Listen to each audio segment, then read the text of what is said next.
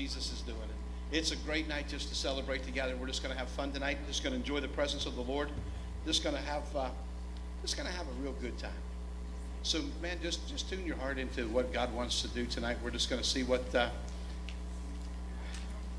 you never know what the Holy Spirit's going to do in the middle of a service. So I'm excited about it. I feel really, really good. Stand with me. Let's just pray. We'll jump right into this thing. Got a whole bunch of things going on, and folks uh, just excited about being together. So let's just let's just go after God radically. Let's get real radical in our worship and just go after the Spirit of the Lord and just jump in. And man, it's a good time to jump in the river. Okay. Father, we're just going to say thank you. What an amazing time we have to come together tonight. We're excited about being in your presence. It's great to be, Lord, together with the saints, and we just come together to just celebrate what you're doing. We thank you, Lord, for your presence and the promise of it. We thank you, God, for this opportunity we have of just sharing together in the joy of the Lord. I pray, God, that even tonight, Lord, we would just be overwhelmed by the goodness of your love. We'd be overwhelmed by your grace and your spirit and your mercies. And God, we just invite you, come and just tabernacle among us, that the men and women of God together tonight, Lord, would just be able to say, Surely we have been with the Lord. It's an exciting time, God, as we just come together together and we lift your name. We're going to praise you. We're going to get radical in our praise because, Lord, we have a reason to be radical. You're a good God and we love you. We just celebrate your goodness together. So, Jesus, you take charge. We just invite you. Let your presence be manifested in the house. Uh, we just welcome the presence of the Father, the presence of the Son, the presence of Holy Spirit. And we thank you, God, for just meeting us here as we celebrate together in Jesus' name. And everybody said, Amen. Amen. Let's worship the Lord. Come on.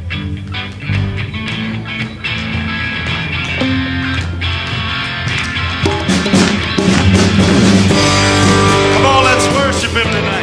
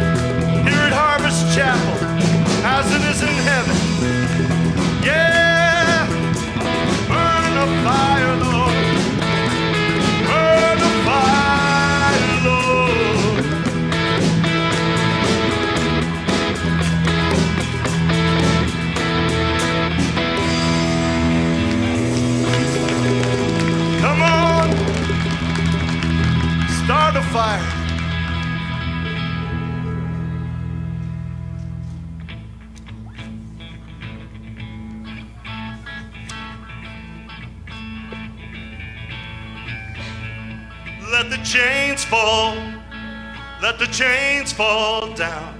Let the chains fall. Let the chains fall down. Past is over. Past is over. Come on, let's sing it, declare it. Let the chains fall. Let the chains fall down. Let the chains fall. Let the chains fall down. Past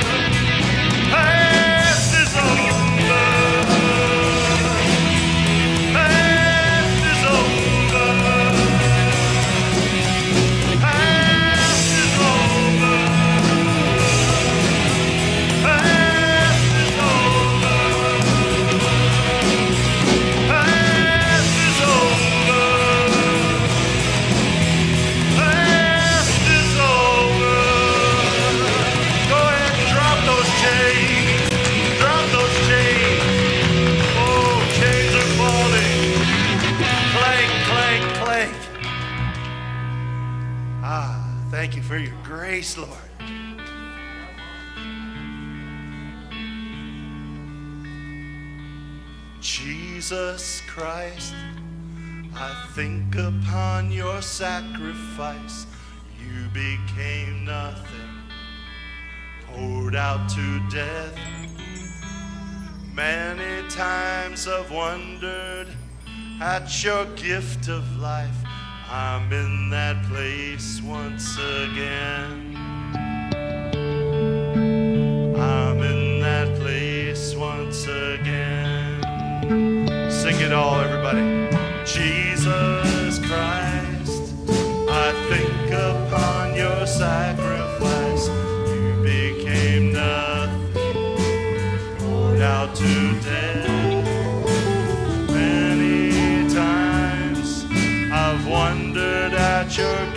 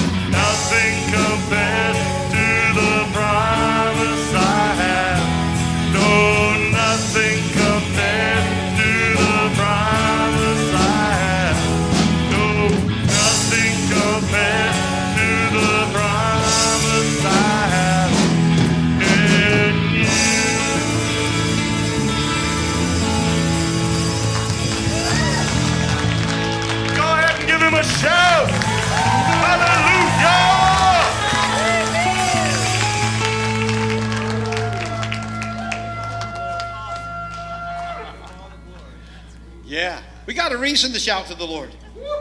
Hey, got wow.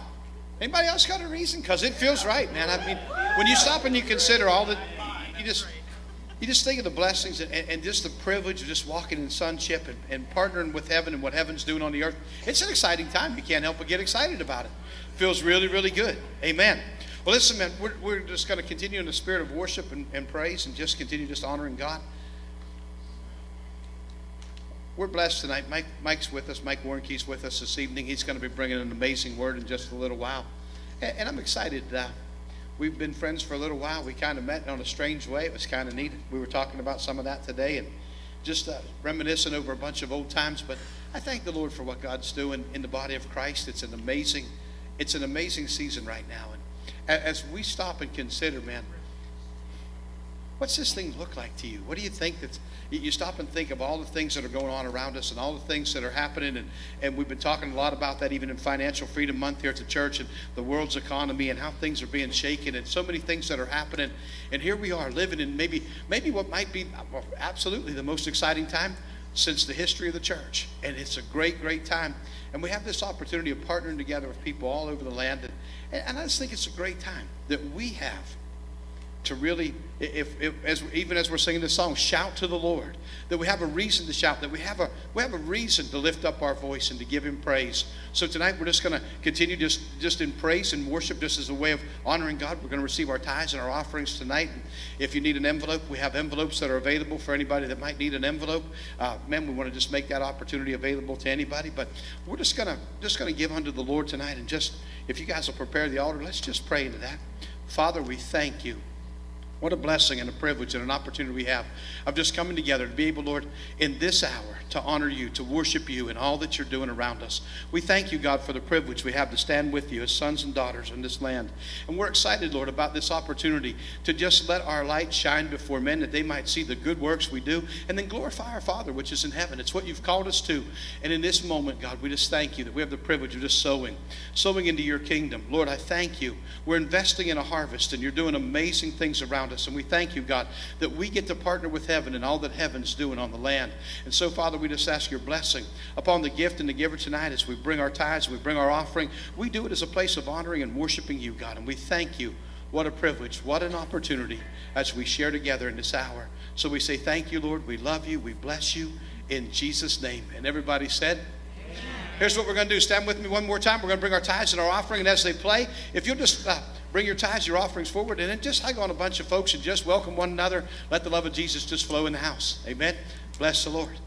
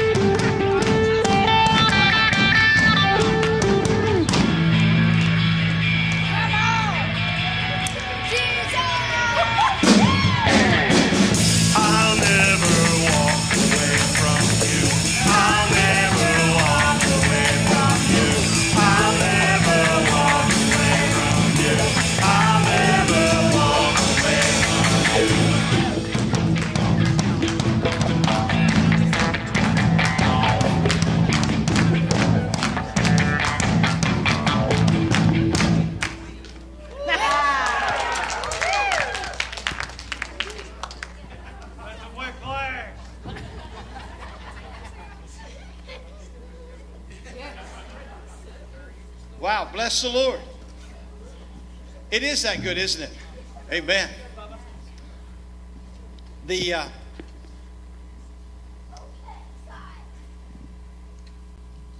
Bill, help me out and bring that across would you. Yeah, thanks, man. No problem. Everybody good? Doing all right? Excellent. How many know it's an exciting time? Amen. Oh man, like I've had more excitement at come on. come on. I thought it was better than that. Come on, man. It does. It feels good. It's a great time. It's an exciting time in the body of Christ. This is an incredible moment, and we have this opportunity to really make a difference, make an impact. I was, uh, I was actually reading something I thought was pretty cool. I shared it uh, a couple of weeks ago in the mentoring class, but um, it talks about it talks about a place where we can walk and be. And in the King James, the word was ensample, and it was E N S A M P L E. And I, I used to think that that was just a King James word for example, but it's actually so much more. In the Greek, the word picture to it, it's like if you took a quarter and you put it on a piece of soft pine wood and hit it with a hammer. When you pull the quarter away, it leaves a big impression. That's what he was saying. This is our opportunity to make an impression everywhere that we go, a lasting impression.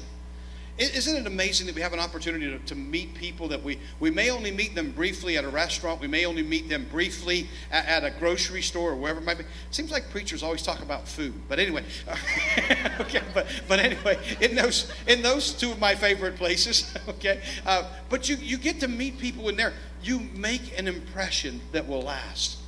Why is that? Because you're carrying something the world's hungry for. You're carrying something the world desires you're carrying something that everybody needs. They might not know it's what they need, but it's what everybody needs. And I'll tell you something when we carry him well, they'll desire him. Do you understand what I just said? If we carry him well, you'll make him hungry. I believe that. I believe that with all my heart. I've had people tell me, well, you know, I've been working on my family, but they just won't come, and I don't know what to do. And they say, well, you can lead a horse to water, but you can't make them drink. I said, no, but you can put salt in their oats. Because if you put salt in their oats, they'll go looking for a drink. How do you put salt in their oats? Carry them well. Carry them well and make them hungry for what you have. This is a great moment to be letting your light shine, carrying Jesus well. Make the world around you hungry. Make them jealous for what you have. Man, I want what you got. Because this is that hour that we're living in. It's a fine hour, it's an exciting time. This is a guy that's excited about Jesus. I happen to know that because we've spent a lot of time talking about Jesus. And I found out something. He likes Jesus. it's a pretty good day. I can tell you that Mike Warnke is in love with a man. and, it's a, and it's a good day. and it's a good day. Come on. And, and, you know what? It's a good day for that. And I'm excited about this. So it's with privilege that I can tell you, man, this is a guy we, we've kind of bonded several years back. We, we spent time together on the phone. We spent time together in person. He was up here last year in Snowtober. Some of you remember Snowtober. You know what I mean? When it snowed at the end of October. And uh, I told him, now if he comes this weekend and we get another snowstorm, that's my sign. I ain't never having him again. But, but it didn't snow. We're in. We're good. And it's a pleasure of mine to introduce this man to you. He has been used mighty of the Lord over the years. Uh, God has, uh, has helped him to help so many hundreds and hundreds of thousands of people find Jesus Christ as a personal Savior. I'm pretty excited about that. Would you make Mike Warnke welcome in the house here tonight? Come on.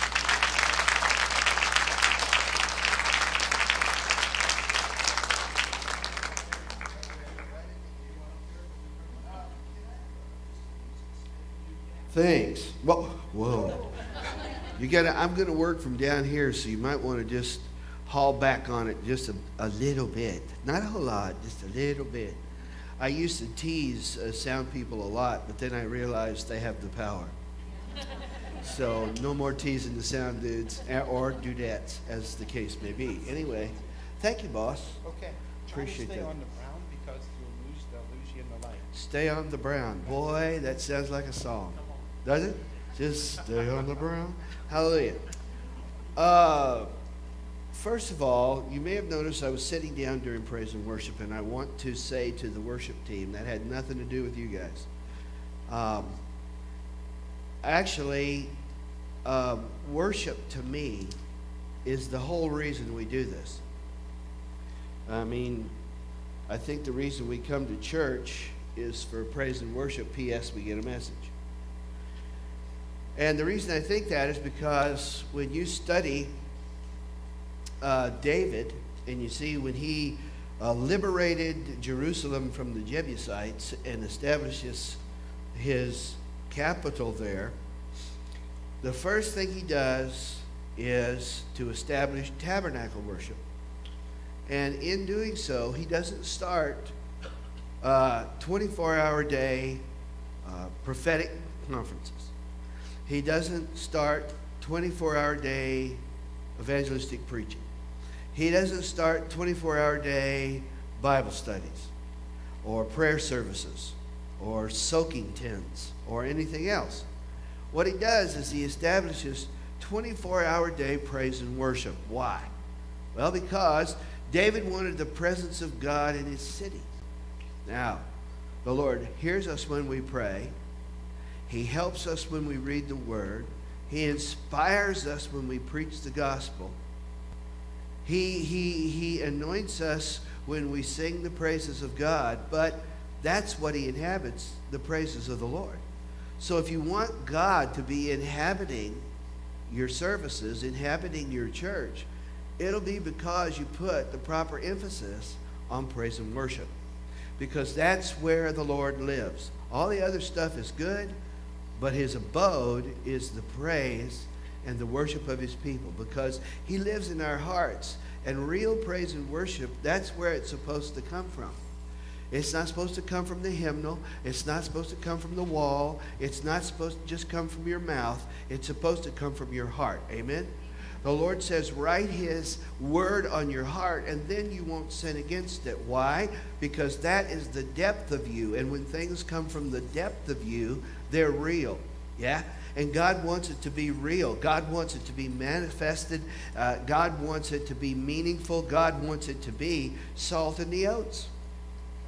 That's a very, very good analogy, and I understand that that particular reference to it is your notice that I'm stealing it. So, uh, you know, uh, it was very cool. You can't, you can't take, you can't, you can lead a horse to water, but you can't make him drink. And then pastor says, yeah, but you can put salt in their oats. Amen? That's a, that's a good line. How do you get salt in their oats? Well, who's the salt of the earth? We are. So, what does that mean? Well, that means we need to climb into their oats. What does that mean? That means that we got to be willing to take part in their life. We've got to be willing to crawl into their story. We got to have some respect for where they are and make their life and their and their their living something that that that is is is a place of craving for the Lord. We do that. You know, don't wait for somebody else to do that. Don't wait for some TV evangelist to do that. Don't do that. If you're going to put out a salt lick, go put out a salt lick. Amen? Don't expect one to fall from the sky. it's up to you, dudes, right? You know, if you ask a Catholic that knows their doctrine, if you say to them, Are you saved? Catholic will say, I'm saved, I'm being saved, I will be saved. Okay? Now, uh, if you ask a Catholic if they're saved, and they say, I don't know, you'll have to ask the priest, they don't know their doctrine, okay? And there are a lot of people that don't know their doctrine, not just Catholics. You know, you say some Pentecostals, why do we do it that way? I don't know. We've always done it that way. Amen. Well, well, how come we do it that way? I don't know. I was raised doing it that way. Well, how come we do it that way? I don't know. That's what the pastor told me. So that's how that's why I do it. There's a whole lot of people that are just doing stuff because they're doing stuff and they have no idea why they're doing that stuff. Amen? No idea whatsoever. But if they know what is really their doctrine, they'll say, I'm saved, I'm being saved, and I will be saved. Now, we as Protestants say, now wait a minute. I'm saved by grace through faith in Jesus Christ. And, and it's once and for all. So maybe I don't believe that other thing that you say. Well, let's think about it. We are saved means we we acknowledge Jesus as Savior and Lord. We say yes to Him. Make this decision to walk in His ways. Okay? I'm being saved. What does that mean? It means that I'm walking out my salvation with fear and trembling. I am, I am walking out a course called sanctification. What does that mean? That means that every day in every way, the best of my ability, I get to be a little bit more like Jesus. Amen. So I'm being saved. I'm being transformed. I'm being changed. I'm walking in my new life. Woohoo! Amen. You know? And then I will be saved. What does that mean? It means we're coming to a place where we're going to cast off the skin envelope and take off. Amen. And at that point, we're going to become what we really are. Amen. Hallelujah. Did you hear what I just said? We're going to become what we really are. Woohoo! That's good stuff right there. If you're not writing it down, you're missing it. Okay? So we're saved, we're being saved, we will be saved. Amen? Yahoo! That's good stuff. You have to excuse me, I get excited, I start shouting. Unfortunately, though, my shout comes out, woohoo! Uh, apparently, I have the Tigger anointing. You know, most wonderful thing about Tiggers is Tiggers is wonderful things. Their heads are made out of rubber. Their bottoms are made out of springs. They're rouncy, trouncy, roly poly, fun, fun, fun, fun, fun. Most wonderful thing about Tiggers is I'm the only one. Woohoo! Amen. Which is way better than the Eeyore anointing, which is what a lot of Christians have. Oh no, it's not for me. Praise God. I'll just stand over here in the corner till Jesus comes. No, don't bless me. Bless Piglet. Bless Owl. Bless Pooh. Pooh, really? Pooh, really? Really? I have 16 grandchildren. I know what Pooh is. And I don't think if they made a bear out of it, I'd want to play with it. That's just me. I could be wrong, but I don't think so. Hallelujah. You know what I'm saying? So, so what we got to do, we, we are left here because God trusts us to carry the salt. Now, wouldn't it be better if the night you get saved, everybody you love could just come to the altar with you and everybody could close their eyes, open their eyes, and they'd be in heaven? Amen? Well, I mean, if I had gone to heaven the night I got saved, there is a whole lot of stuff I would not have to have gone through. I'm thinking of just one thing hemorrhoids. I would have never gone there. How can you say that in church? It's in the Bible, dude. Only the ones in there are golden ones. and I got to say, that's that's yeah, that, that's that's not my train car right there. Okay, you understand what I'm talking about here, though? I, I wouldn't have uh, had uh, open heart surgery. Uh, I wouldn't have arthritis that's twisting my my hands and feet out of out of whack. I wouldn't have, you know, I wouldn't have made some of the mistakes I made. I wouldn't have gone through some of the stuff I went through. If on the night I got saved, I had just gone to heaven. Now, if the Lord really loves me, it seems to me that that would be the way it's done. You get yourself right. You don't have time to backslide. You don't have time to screw it up. You just go to heaven. Amen? That would be great. But He leaves me here. Why does He leave me here? Well, there's got to be a reason, because if there isn't, it just means God wants to watch me twist in the wind. And if that's the truth, then I've got a God that would get a kick out of pulling the wings off a butterfly just to watch it flop around. Amen? I can't worship a thing like that. Hello? You with me here? Somebody say, somebody say amen up here in this house. Amen? I mean, praise God, you guys are like a bunch of frozen Presbyterians. It's, I realize it's cold, and any Presbyterians, um, pray God. Anyway, so uh, uh, I think I just got in trouble with about. Anyway, uh, but see, you know, the thing is, I don't have a God that pulls the wings off of butterflies. I have a God that puts the wings on butterflies. Amen. And, and he uses all the colors and he shines all the lights and, and, and it's a glorious thing to watch this creation flitter through the air and spread color and joy and happiness every place. That's the God I serve. Amen?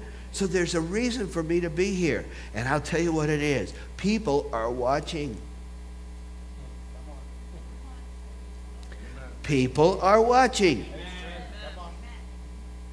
People are watching. You don't have to run them down people are watching. You don't have to go cruising trying to find some place where you can get another notch on your Scofield. People are watching. And they're not interested in what you have to say, they're interested in how you are. They're not expecting you to have a life devoid of problems, but when you go through a problem, they want to see how you handle it. They want to see if you have if you have any salt in your oats before they're going to allow you to put any salt in their oats. Hello, you with me?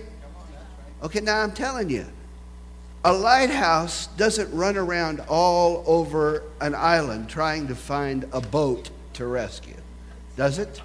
Uh, a lighthouse just stands there and shines its light. Amen? And the boats that need it see it. Hello. Amen? And they're saved. You get it? You get it. All right. Praise the Lord. So we have this responsibility. Uh, we've been left here to be a witness. We've been left here to show that having Jesus is worth having and being a Christian is worth being.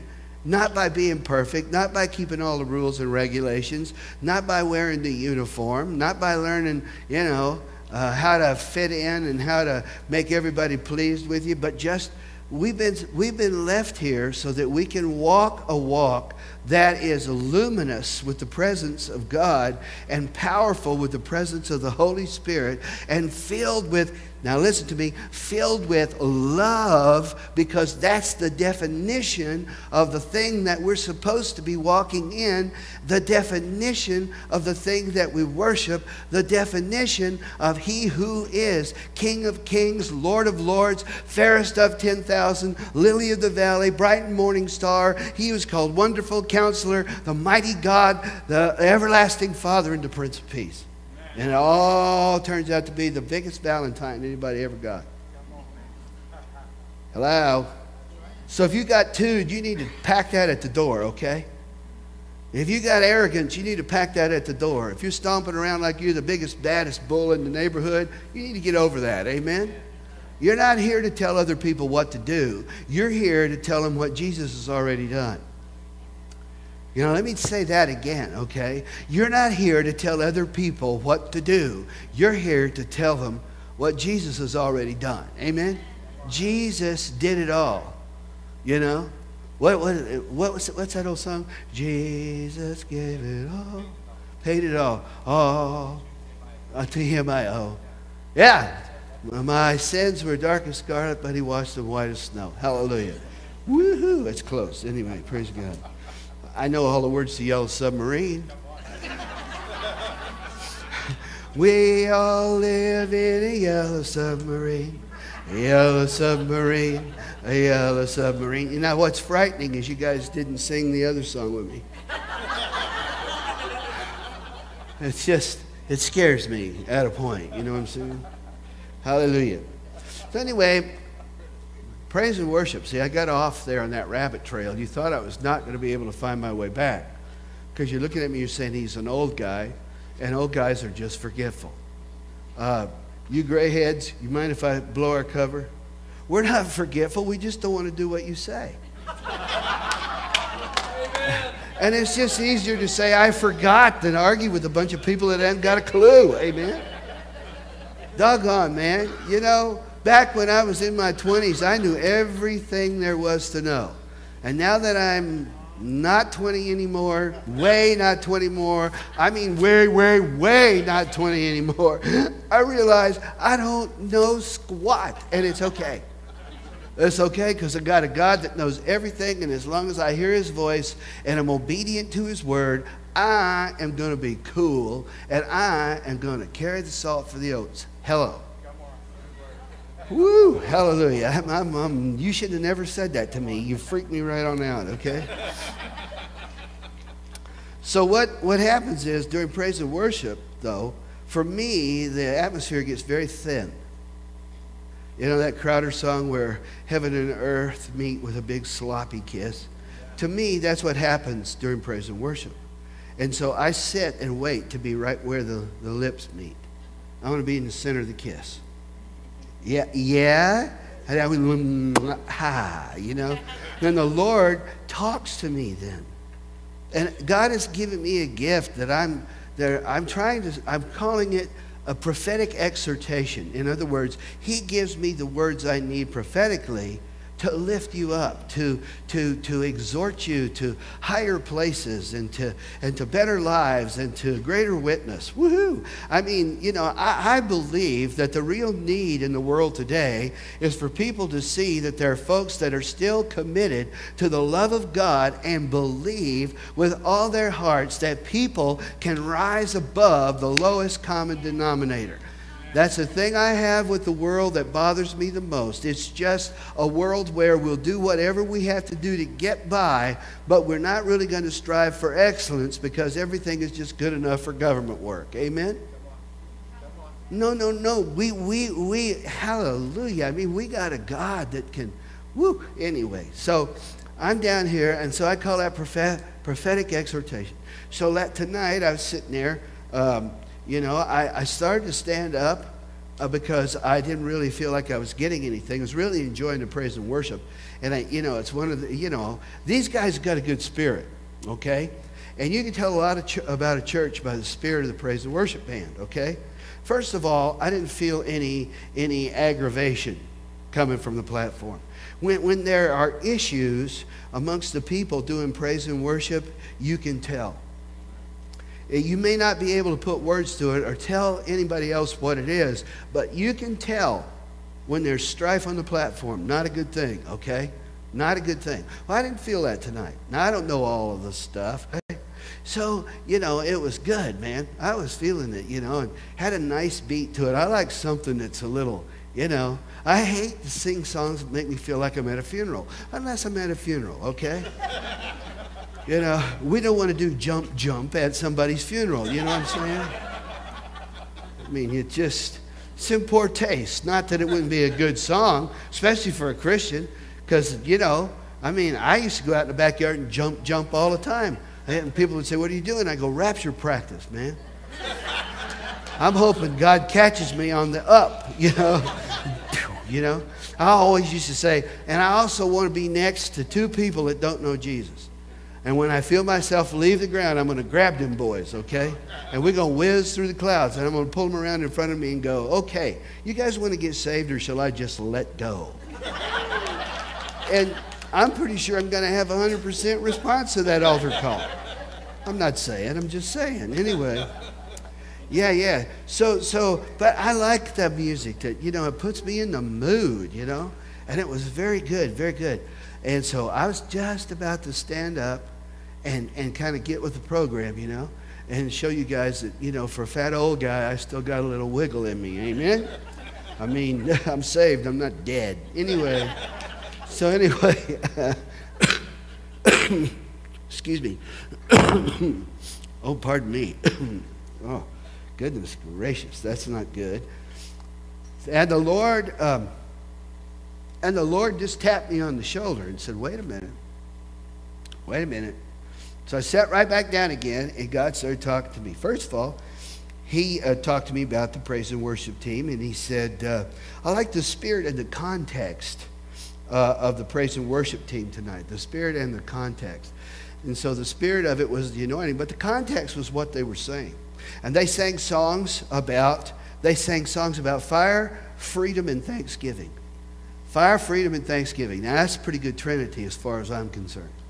Old Meister Eckhart, back in the Middle Ages, he was this uh, a theologian from the Middle Ages, and, and, and he said, if the only prayer you ever say is thank you, it'll be enough. Is that not good? Woohoo! You know, we know about fire. We know how we need fire. Fire is life. I mean, I was survivor. I know these things. Fire is life. Amen. They put out your fire, you're gone. Hallelujah. You know.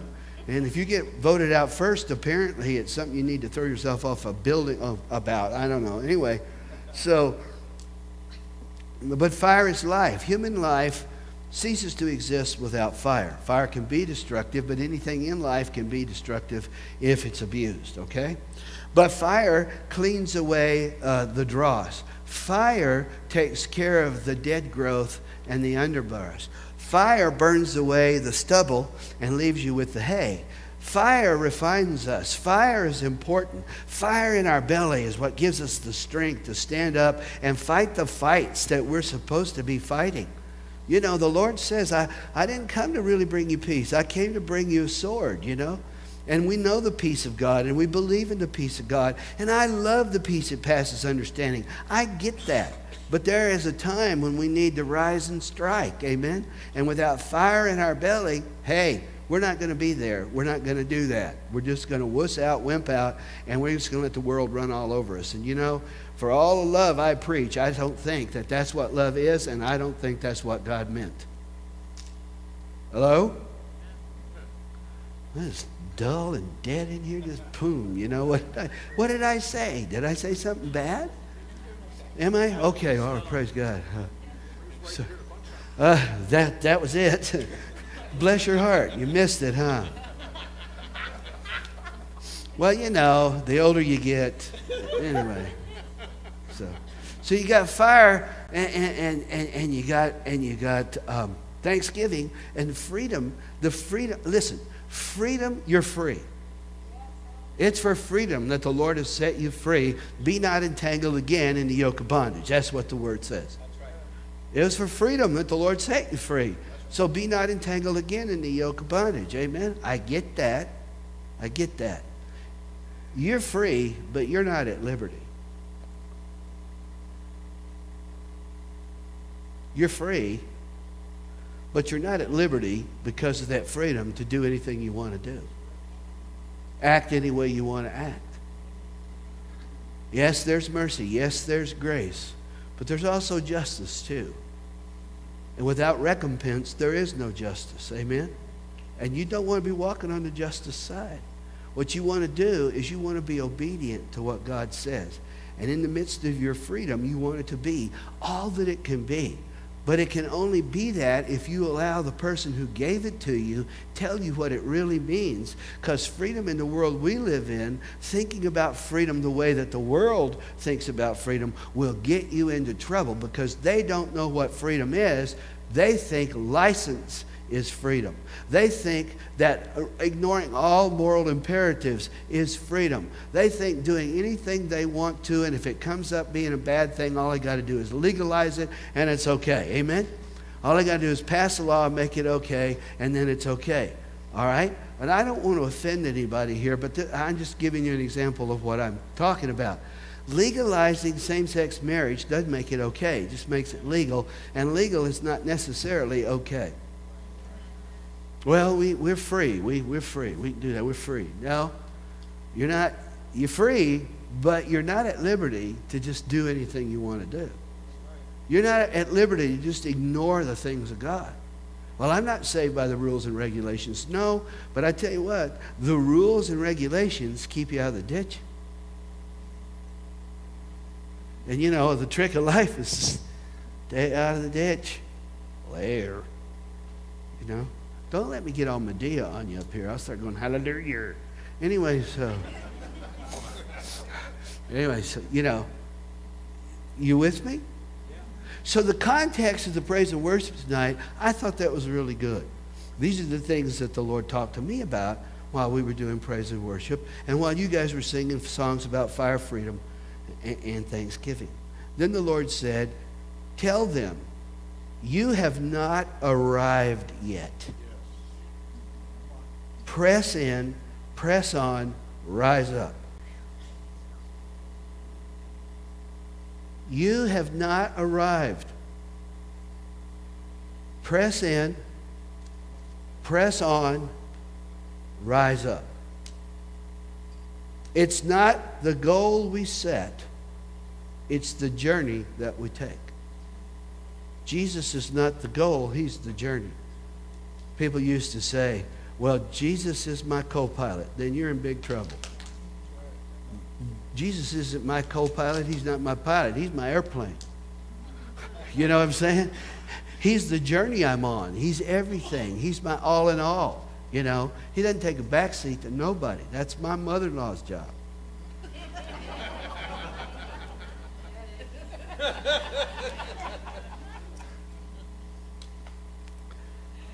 So, this is what the Lord is saying. You're not there yet.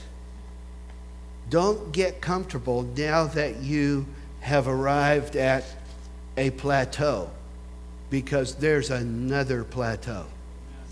There's more. There's more, there's more, there's more.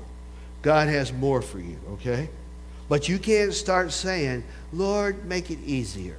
You have got to say, Lord, I'm ready for anything. Because if you can't, if, if you're going to just say, make it easy, make it easy, make it easy, you can't expect God to, uh, uh you can't expect God to respect the prayer of more, more, more if, you, if you're talking easy, easy, easy. You know, I just want to sit down here, Lord, you mail it in. Somebody said, Well, I pray all the time. Why, God, why isn't God blessing me?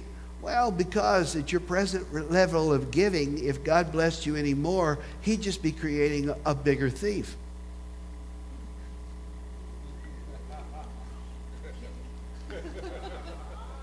Ooh, pin drop time. Hallelujah. pin drop time. Oh, I'm oh, sorry. Oh, no, no, no. That's, that's something else. Anyhow. Ah. I know you're sitting there and you're saying to yourself, God, that guy's weird. Listen, I've already been helped. You wouldn't have liked me before at all. Trust me. You know? You, you understand what I'm trying to say here? I'm not banging on anybody. I don't know about your giving and stuff like that. And if I just offended you, it's probably because you're guilty. God is not going to waste a God's not going to waste a perfectly good healing on you if all you want to do is be comfortable in the Barca Lounger while you're watching football. There's more to it than that, okay? You don't pull over to the side of the road and say, I've arrived. Because it's not about the destination, it's about the journey. And no matter what plateau you come to, there's always going to be another plateau. There's always going to be a place to step up. There's always going to be another thing to do. Just, just say amen if you understand what I'm saying. Amen? Okay. Not easier, easier, rather higher, higher. If you expect the prayer of more, more to be respected. Not easier, easier, but higher, higher. If you expect the praise, uh, the prayer of more, more to be respected. Then the Lord reminded me of that scripture that says, Do not be weary, do not become weary of well doing. One of the things that happens to us as congregations, as the community of believers, is we get jaded. Eh, I've heard that before. Eh, I've heard them songs before. Eh, I've heard it all before. Well, let me tell you something. No, you haven't. And if you think you have, it's because you quit singing and you quit listening. Because the Bible is like an onion, folks. Every time you get done with a layer, there's another layer underneath. Amen? And the closer you get to the middle, the more you cry. Hello? You with me here? Okay, if, if, if you're afraid of the tears, the only option you have is to sit down and stop peeling. But that ain't on God because there's more, there's higher, there's better. But if you just want to be comfortable, if you just want to park your RV and fish, you can do that. God's not even going to be mad at you. But you know what? There's going to be people who go to hell because you're not going to get there with the oats in time. So we bring that all the way back. So you have to keep up with this. You don't think I know where I'm going, but I do. I really don't, but God does, so we're good. Listen to this quote Journey between what you once were and who you are now becoming is where the dance of life really takes place. Hallelujah. Huh? The, on the journey between what you were and what you're becoming, that's where the real dance of life takes place. Is that not good? You like that? I can do that again. Somebody record that. I'm taking that with me everywhere. Say some of these dead churches, this is what it sounds like. You know. Are there rules and regulations? Yeah, all of that. And do I want to know all of that? Yeah, I do. But you know what? I want to know the dances too. Don't you? I want, I want to know what makes you laugh like that. Yeah, my friend Annie Lamott says that laughter is carbonated holiness. Carbonated holiness. Is that not the coolest thing you ever heard? I mean, come on, guys.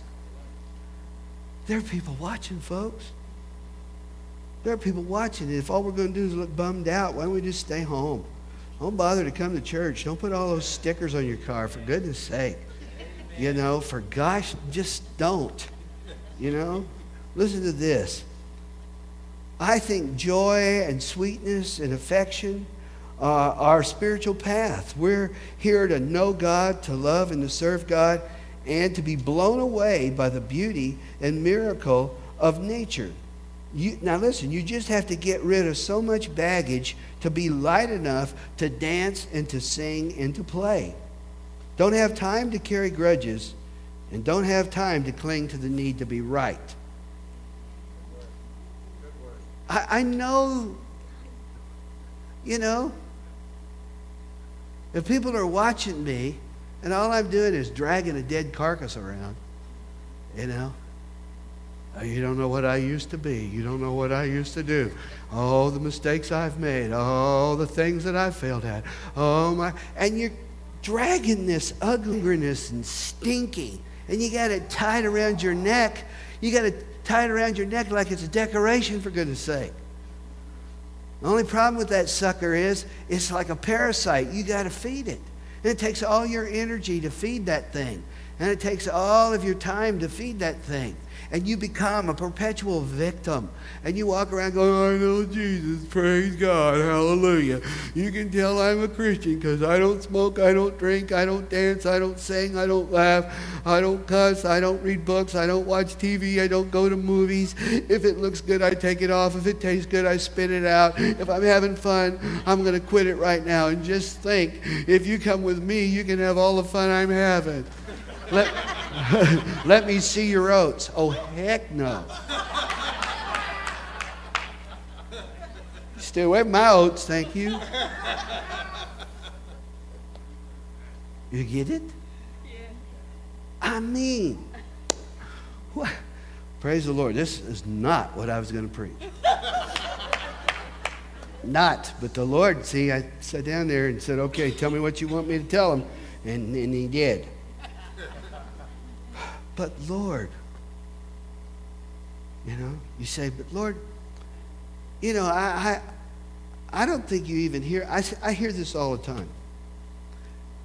I tried the Christian thing, but I messed up.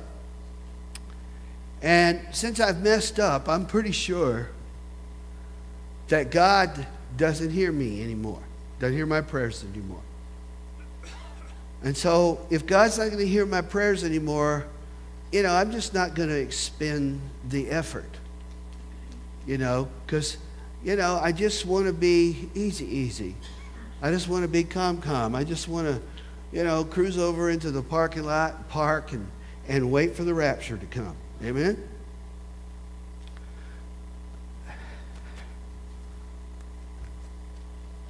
Notice all the books I bring up. When I grow up, I want to be uh, uh, Gloria Copeland. she brings hers to the platform in a wagon, you know. Listen, grace not only follows the judgment of God, but precedes it.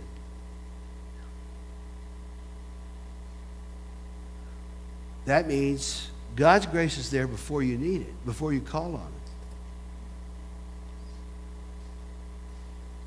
Grace comes to us before birth and sees us through.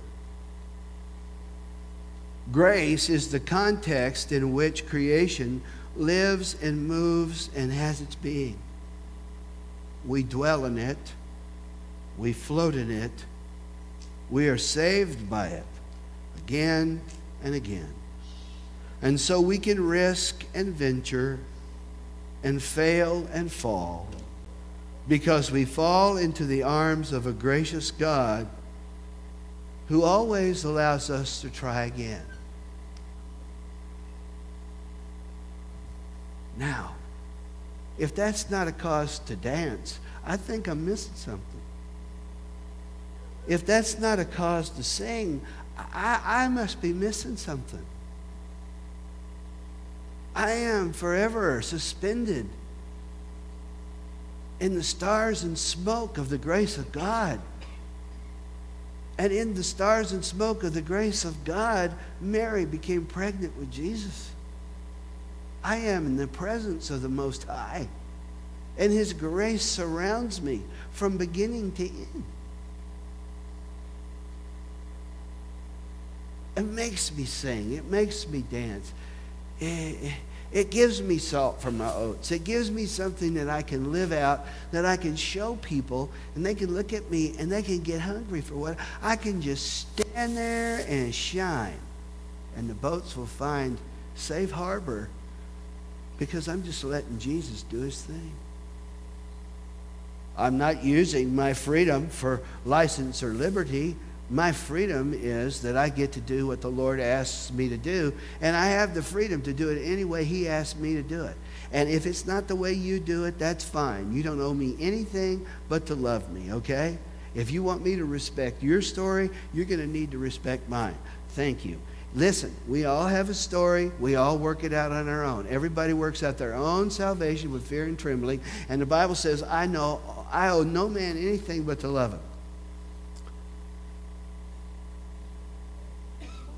What can I say? I think a lot of you know that my eldest son died three years ago. It'll be three years ago. Yeah. Yeah, three years ago. Uh, he's 39 years old. He died of uh, kidney failure and end stage liver disease. When I heard about it, I was in Scotland. And it took me nearly a week to get to California where he was. And he was in a coma. And the doctor said he would never, never come out of it. So, as a family, we made a decision to take him off life support. And of course, they always talk about pulling the plug. And, and really, that's not what you do, okay? It, it's a process, you know. So, we got to the end. We were about ready to do the very last thing, which was take him off the breathing machine, and he woke up. He wasn't supposed to do that. I think he heard somebody tell him he couldn't do that. And you'd have to know my son to realize you don't tell him he can't do anything because he'll do it just to show you he can. and he came back to us and he was with us another week, and then he passed away.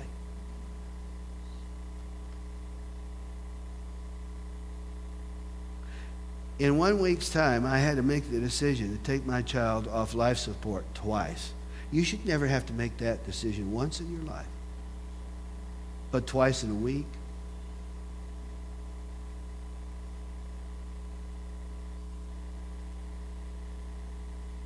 It's against all the rules. It's not supposed to happen that way. Your kids are not supposed to die first. You know, I'm doing my best to serve the Lord. I'm supposed to be blessed and highly flavored favored.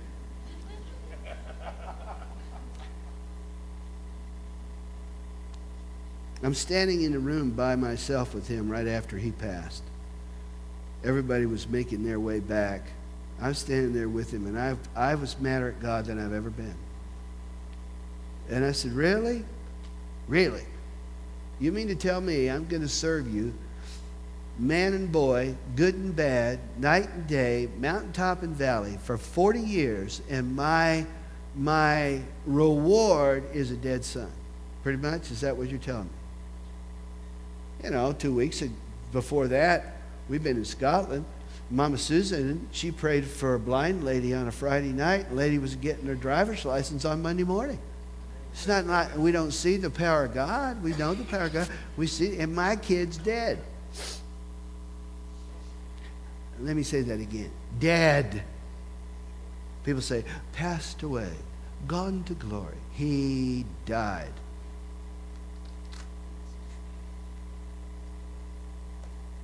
And I said, really, really, really, really, this is, this is it, huh? I, oh, man, I was steamed. I was steamed. And the Lord spoke to me. You know, I wasn't hearing voices. I'm, you know, you know where the Lord speaks to.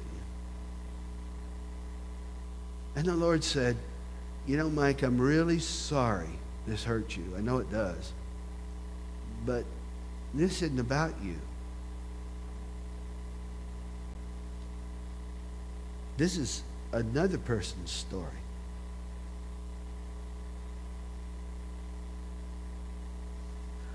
I had that week, and don't you know we had those conversations we needed to have, and don't you know that when he passed, he went right into the arms of his other daddy, and he went to his real home? Don't you know that? I do. Does it make me uh, miss him any less? No, not really. Does it, does it keep me from hurting? No, no, it still hurts. But there is a joy uh, unspeakable and full of glory that comes with knowing that the Lord's in charge and that and that it, it's all about a story that he knows the beginning and the end to and all I've got to do is just trust him enough to let him be the airplane.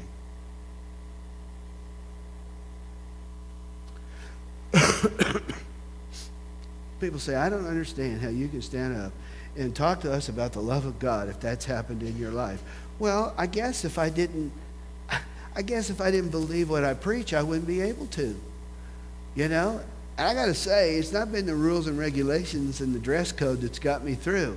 It's been dancing in the dark and singing past the graveyard. Hallelujah. Why do I have that? Well, I have that because it's joy unspeakable and full of glory. I have the joy. I can't explain it. If I could explain it, it wouldn't be God. People say that all the time. Well, that can't be God. I don't, that just doesn't make any sense to me. Really? Wow. Isn't that something? God doesn't make any sense to you. Wow, what a surprise. We all forgot you were in the pantheon. I mean, really? Doesn't it say his ways are not my, your ways? My ways are not your ways, and, and my thoughts are not your thoughts. Does it say that? Well, Lord, doesn't that mean that if you can't figure it out, it probably isn't God? And if you can't figure it out, it probably is? Well, really, you want to worship something that you can figure out? Not me. Something I can figure out, something I can understand, something I can get my head around. That is not going to get me through the death of a child. But I'm telling you what, wrapping my heart around Jesus and dancing with him anyway, dancing with him through the tears, singing the song through the tears, understanding that that's my place because not only do I need it for myself, but there are people watching, and I'm not the only person that's ever been hurt, and I'm not the only person that's ever left, lost a child, and I'm not going to let my son's death be for nothing. You get, you get me?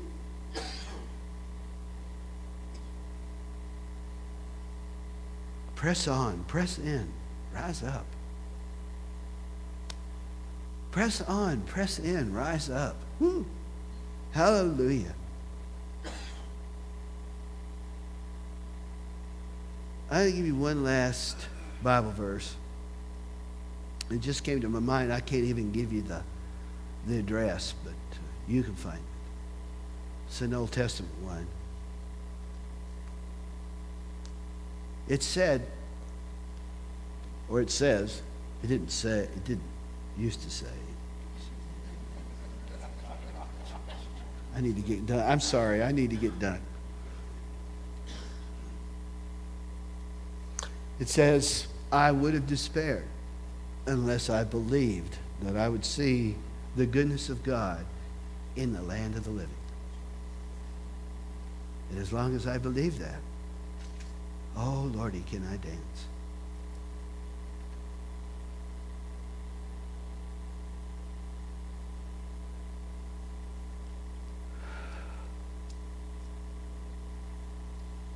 I had a perfectly good sermon.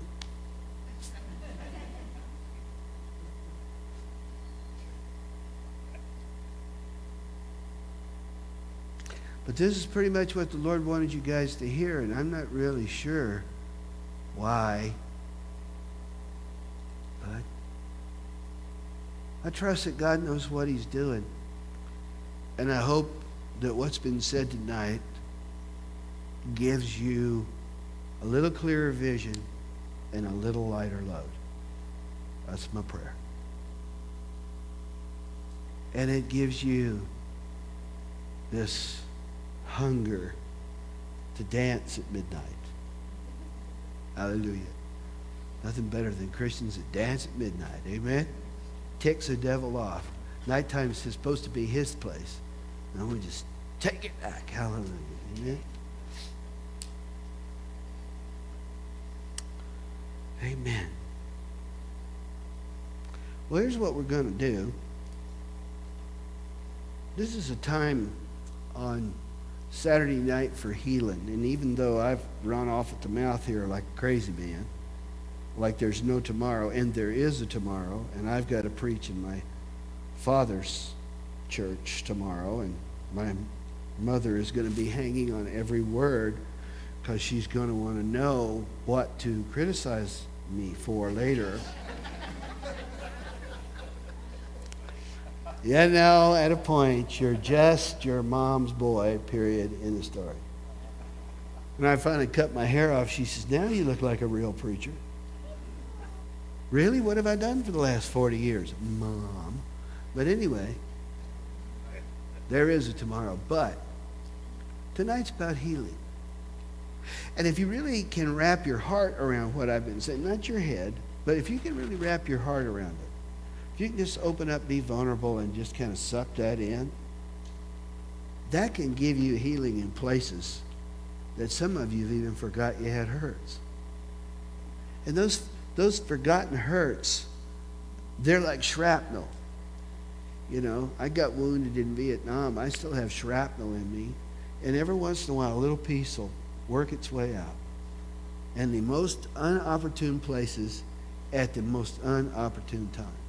How many of you know that you can bury that hurt, you can pack that hurt away, you can stick that hurt in the closet, but if you don't deal with that hurt at the most inopportune time, in the most inappropriate ways, that hurt is going to pop out and get you.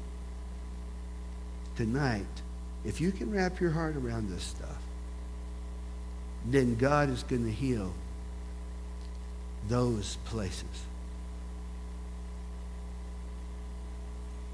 Those places.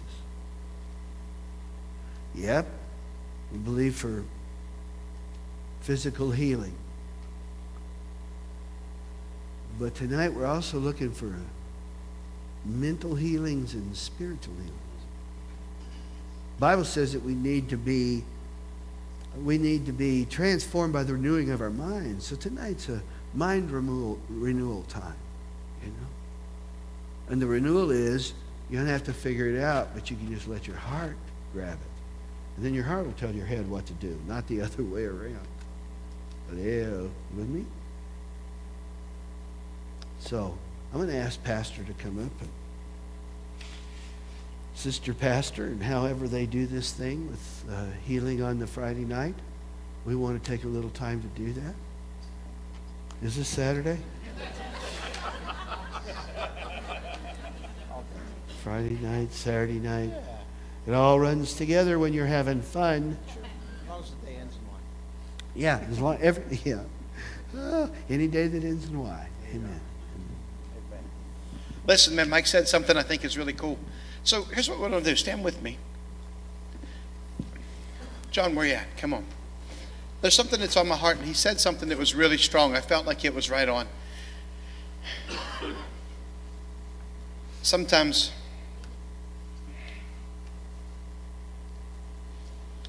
sometimes it feels like midnight and it seems dark. Matter of fact, we were talking Mike used to travel with a guy named Carman. Some of you are familiar with Carman's ministry, and one of the things we were talking about was just some of the things that transpired in, in the in that they would go together and just make people laugh and have such an amazing time. But one of Carman's strongest songs that he ever sang was this. It said, "It might seem like it's Friday night, but Sunday's on the way."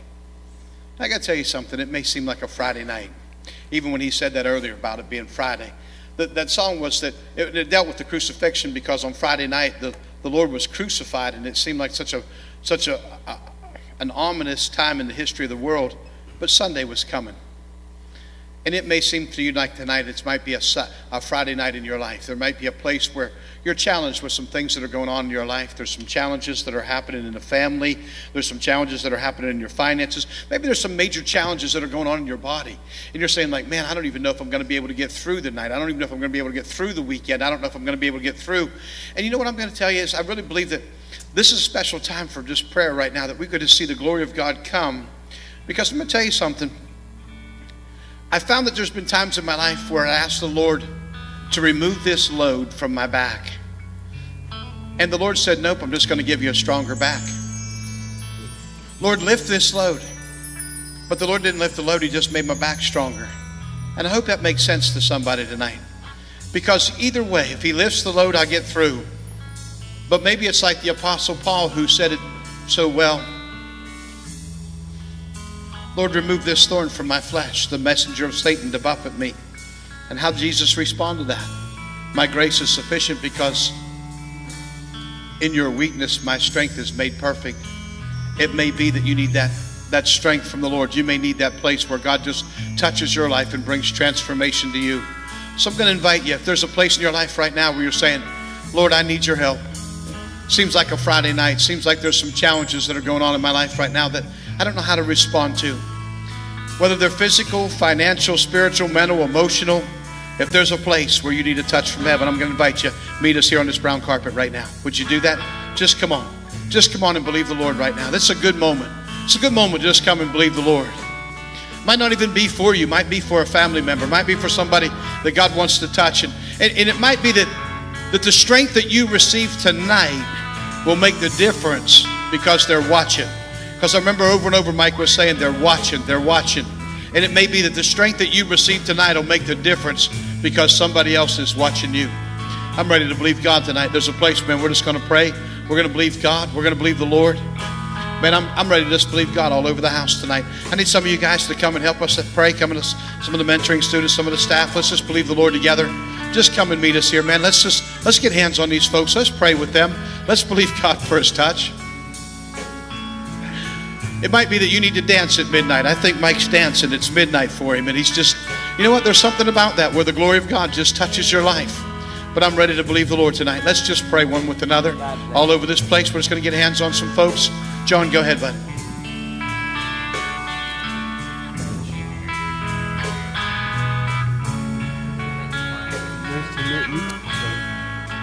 Keeper of the stars, Lord of time and space. You know what your time is, huh? I will live my life lifting up your name. Lover of my heart, God who came to save you for the cross and the life you gave.